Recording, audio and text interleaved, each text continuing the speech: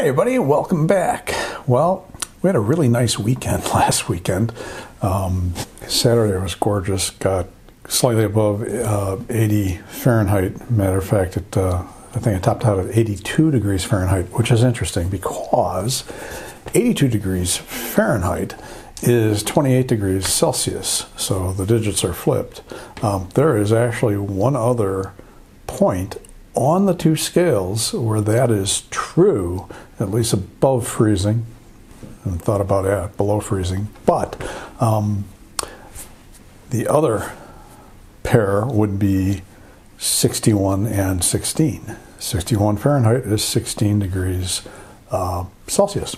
Anyway, in other news, uh, evidently there is a bobcat running around Oak Park, Illinois. Uh, it was in the paper. They called it a lynx. Evidently, somebody in the health department here called it a lynx, and so that's what they ran with. Um, bobcats, of course, are in the genus Lynx. Uh, they're Lynx rufus. There are four lynx species in the world the bobcat, the Canada lynx, the Eurasian lynx, and the Iberian lynx but uh, never really heard anybody call a bobcat a lynx before. I guess you can, but um, it's on security cameras. I haven't seen it yet, so maybe somebody saw a big cat and thought it was a bobcat. Who knows? But with spring, you know, we get wildflowers, we get migratory birds, um, things to take pictures of while we're out taking hikes. And I thought I'd talk a little bit today about doing that sort of photography, which would also involve close up photography. Um, and you don't I mean, a lot of people think, oh, you know, you need to go out and buy a macro lens to do that. And that's rather expensive. And I'll tell you, I've owned macro lenses. They're always stunningly sharp. Doesn't matter who makes them. They're, I haven't run into a bad one. Um, but I've always owned the 100 millimeter uh, macros. Oh, I had the 50 millimeter Canon compact macro as well. Still really sharp lens. But they cost a lot and you don't use them a lot. And I think today, with the close focusing abilities of a lot of zooms, and especially kit zooms, uh, they all seem to be able to focus really close. You may not need a dedicated macro lens for a lot of what you do.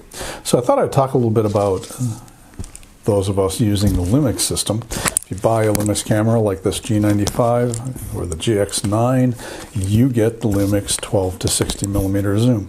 And this will focus very close. As a matter of fact, it's 60 millimeters.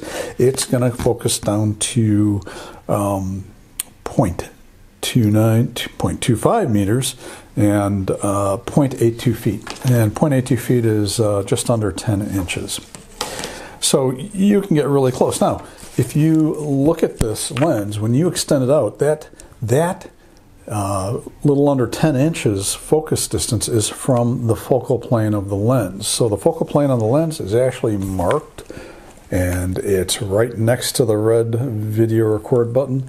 It's not easy to see because it's just embossed black, but that's where the focal plane of the lens is. So that focus distance on your lens is telling you how far from that point your subject is. Then you can see that 10 inches is going to put your subject really close to the front of the lens. So, of course, with flowers, maybe not that big of a deal, but with some insects, they're going to run or fly away right? So why would you want to go to the extra expense of doing something else? And that something else in a lot of people's case in the Lumix system would maybe be the 45 to 150 millimeter uh, zoom, which is uh, inexpensive, high quality. Now, this lens close focuses at 150 millimeters only down to three feet or slightly under a, a meter. So you're not going to be that close. Um, however, as I mentioned in a previous video, I use a Canon 500D close-up attachment in a 52 millimeter thread. Uh, and 500D is not to be confused with the Canon Rebel model. Uh, that's also a 500D. And this simply screws onto the front of the lens like a filter. And this is a two diopter equivalent if you're looking at other uh, types of, uh, close-up lenses. Uh, 500D is uh, a two diopter equivalent. So if you're, uh, I'm not, I'm not even sure Canon makes these anymore because they seem to be hard to find. But um, you can find them on eBay if you if you hunt. So that little close-up lens makes a big difference, as we will see. The added benefit is even though it's getting the magnification higher and you a bit closer, you don't get anywhere near as close as you do with the 12 to 60.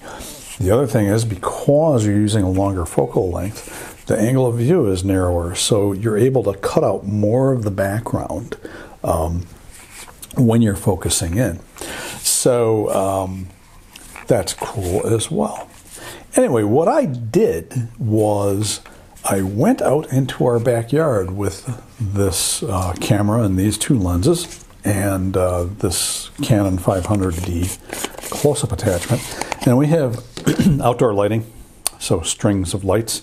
So I went out and took some pictures uh, with the 12 to 60 at its closest focusing distance, with the 45 to 150 at 150 and closest focusing distance, and then also with the 50D. And then I went into my office with a tape measure and kind of, this was loosey goosey, but I put the tape measure so that the end of it was right near the uh, focal plane mark and then focused each of these thing, two lenses to the closest focusing distance on the scale on the tape measure. So I did that with the 12 to 60 at 60 millimeters and the 45 to 150 at um, 150 millimeters with the close-up lens on it. So let's take a look at that and uh, I will be back with a follow-up. So here are strings of backyard lights on this dreary day. And uh, what I'm going to show is uh, first a photo taken with a 12 to 60 millimeter lens at 60 millimeters closest focusing distance, which is uh, just under a foot. It's about just under 10 inches. As you can see, it gets pretty close. So that might work for most people most of the time. Uh, you get kind of a wide view of the background. Now, if we switch to the 45 to 150, this is at three, uh, 150 uh, closest focusing distance, which is about three feet. Now, if I put the Canon 500D close-up attachment on, I get much, much closer. And the view, uh, the angle of view is narrower, so there's less distraction in the background. Additionally, there's uh, a little bit more than a foot of room between the front element of the lens and uh, the subject. So uh, any skittish insects are not going to be as intimidated as they would be with the 12 to 60. So here I'm back in my office with a tape measure, and this is the 12 to 60 at 60 millimeters at its closest, closest focusing distance. And as you can see, it focuses right at about just under 10 inches. Looks like a little bit, or yeah, it looks like right around nine and a half inches.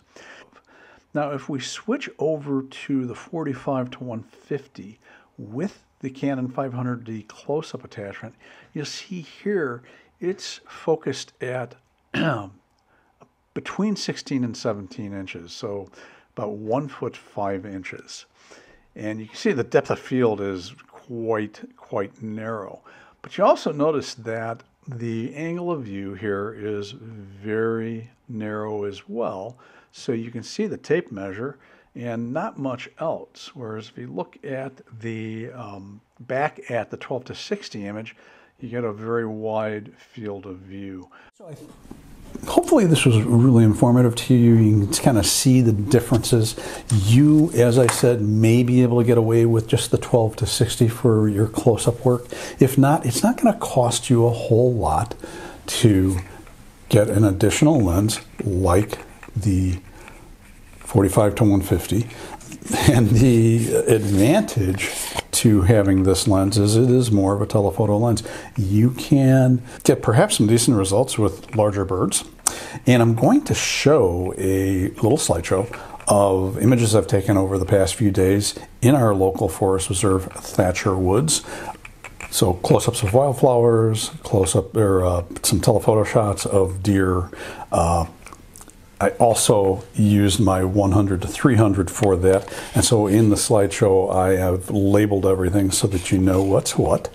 Um, but uh, you know, it's really nice to have an area within I don't know 15 minutes of here where you can go out and do nature photography. As a matter of fact, uh, if you all have a place that's near to you uh, where you go out and take nature photographs without having to travel long distances, um, I think that's something you might want to share. So put those things those down in the comments. Uh, maybe link to some photos that you've taken uh, close to home that you're proud of, and let everybody see what you're doing. Um, anyway, here is that little slideshow. Uh, again, I labeled everything, so uh, hopefully this inspires you to enjoy the spring and go out and take pictures. If you have any questions or comments, pop them down below. If this was helpful to you in any way, hey, hit that like button. That's a big help to me. If you have subscribed so far, I really appreciate it. Um, it's really great. Every time I take a look, I get a few more subscribers, so that's cool. I'm Todd Bannor, and I will see you next time.